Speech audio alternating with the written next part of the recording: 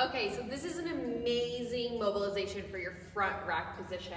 Basically what I have here is a thick resistance band around the rig. The lower you put it down, the more resistance you're gonna get. Um, I generally tell people around shoulder height is a good place to kind of start. What you wanna do here is put your arm in the band. I like it to be hooked around my tricep. Then I put my hand on top. I'm gonna flip my whole body over. Elbow nice and close to your ear. Let it drive back. Let your head come forward. Hold right there.